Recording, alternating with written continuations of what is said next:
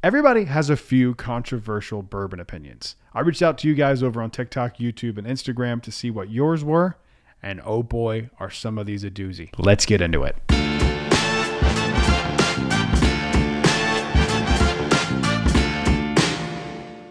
Hello, everyone. Welcome or welcome back to Brad's Bourbon Reviews. I'm Brad, and today we are going to be going through your controversial bourbon opinions. This is probably just a part one of this video. There's probably going to be more than one. You don't see your comment in there, just know it's probably saved for a part two.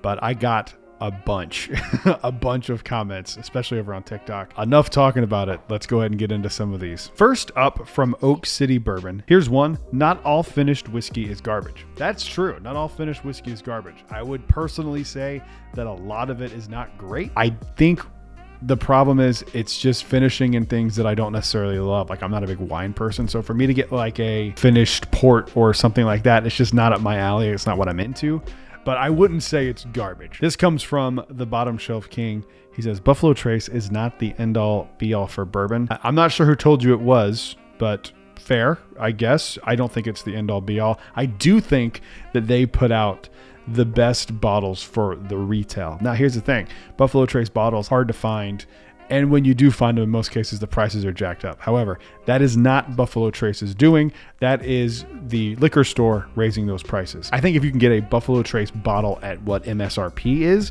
you can't really do much better than those bottles at the MSRP. I mean, like Elmer T. Lee is $41. Better than most other single barrels from other distilleries, in my opinion. This comes from Barrel Proof Brook. says Blanton's is mid.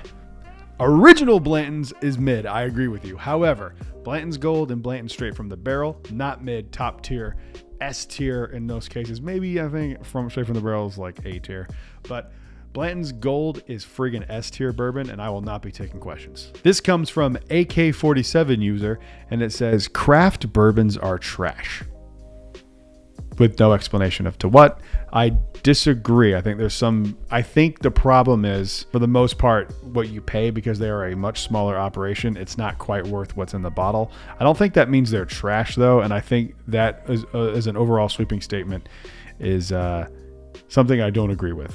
Uh, this comes from LC. It says, It's okay to let people like what they like. It is okay, unless that thing that you like is Basil Hayden. Moving on to the next one. Traveling Man says Buffalo Trace products are overrated.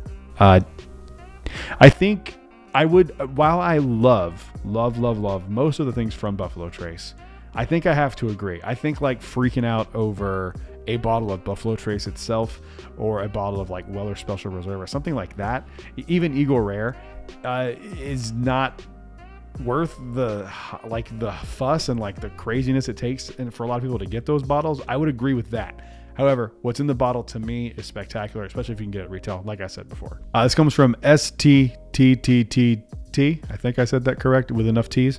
Uh, it says Pappy Van Winkle is extremely overrated. A lot of Buffalo Trace hate on this. Again, I, I for me that falls in line with for twelve hundred dollars. Yeah, absolutely uh, for a hundred dollars for which is what like the Pappy uh, the old, old Rip Van Winkle ten year I think retail is like eighty bucks for eighty dollars. No, it's not overrated. It's fantastic bourbon for eighty dollars. But again, if you're paying fifteen hundred dollars for that, that's your fault. This comes from Skipper and it says higher proof isn't always better.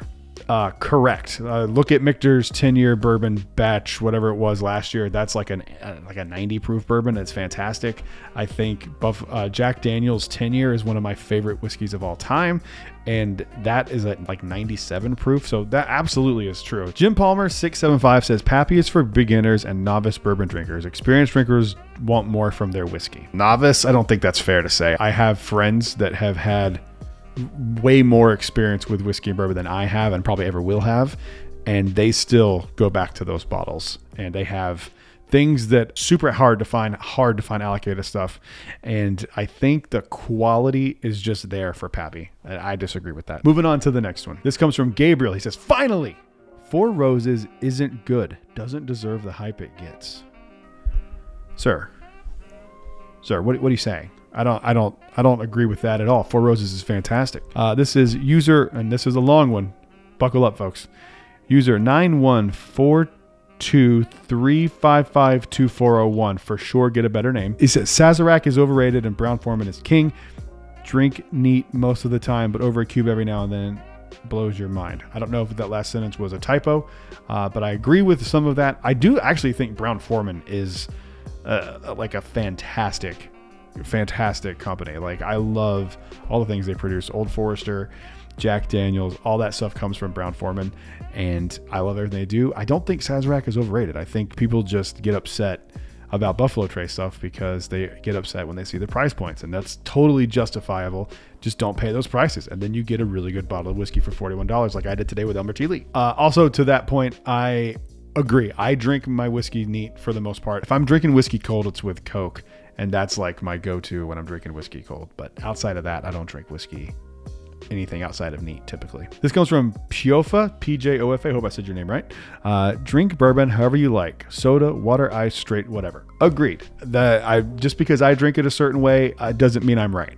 I will defend my stance as this is what the whiskey is intended to taste like. If You try your whiskey with Coke or ice, you're changing the flavor profile. Now, that change could be something that you enjoy. In my opinion, you are changing the flavor profile, and it's not an exact expression at that point, it's altered a little bit. Now, that could be good for you, but I just like to try it, at least try it neat. That's what I say. Take that advice or don't. That's fine too. I don't care. I'm an idiot. Don't listen to me. Moving on to the next one. This one comes from Paul LaFleur. It says the difference between 25 and $80 isn't huge and there's nothing over $100 worth it. I think that is complete nonsense, but that is a that is that is your take, and you stand behind it. And uh, I think, but I think that's a bad take. Uh, I think there is a huge difference between something like Buffalo Trace and George T. Stagg, and George T. Stagg is over hundred dollars even at retail, and that is absolutely worth it. So right there, debunked. You've been proven wrong. Moving on to the next one. This one comes from Bourbon and Bud Budgies.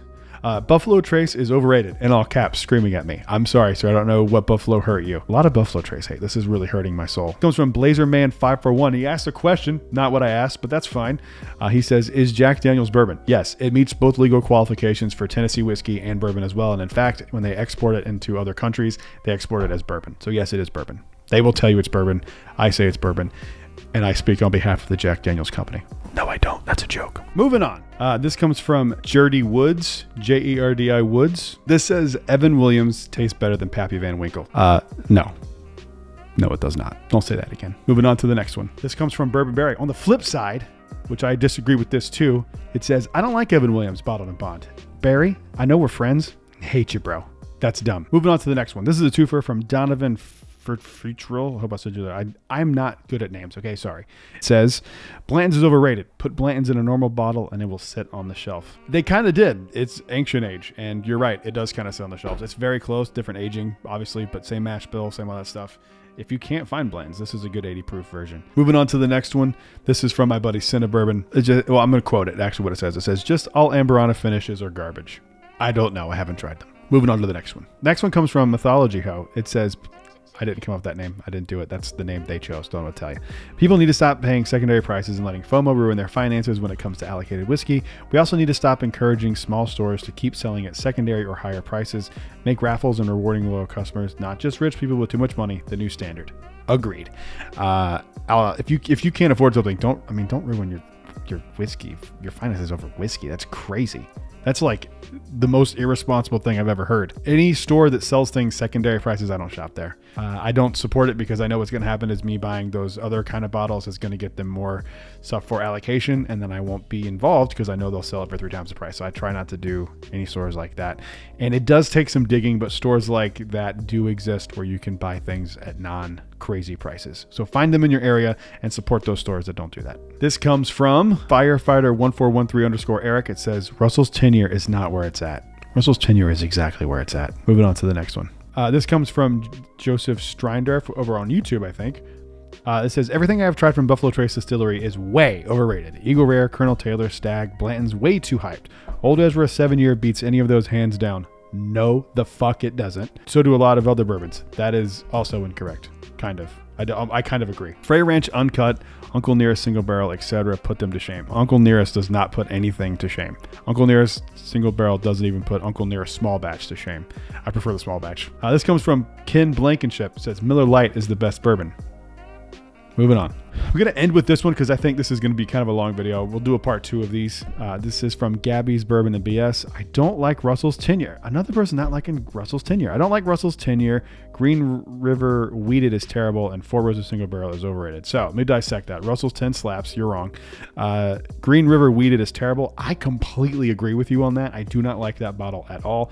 I tried it on a review, didn't like it, and then it turned into a mixer, and the cork doesn't stay in. So it's just, I think it's literally just sitting on myself, on my shelf, just like evaporating. I have no desire to try anything else from Green River. At least nothing, something that's not like a single barrel pick, like that. I will do, but just regular, um, I'm kind of good. And Four Roses single barrel is overrated. I would like to know how many single barrels of those you've tried. I have one that I bet you would really, really like. If you want it, hit me up. I know you watch these videos, and uh, maybe we can see if you like this one. Try the barrel proof ones. I think the barrel proof single barrels, like the barrel strengths, are, are the better ones. Well, that's the first part of this video. I have about 90 more of these comments to go through, so we'll do a part two and probably a th three or four because the post just keeps growing. So I'd like to know your controversial bourbon opinions. Comment down below what's something you think that was crazy on that. And on the next one, I'll give my controversial bourbon takes because I have quite a few of them. Uh, spoiler alert, I think Jack Daniels is the king distillery out there right now. That's my controversial take. Uh, thank you guys for watching. Make sure you subscribe when we hit a thousand subscribers. I'll do that giveaway or give one person five two ounces out of anything I have in the entire whiskey collection. So make sure you do that. And I'll see you guys on the next one. Until then, cheers.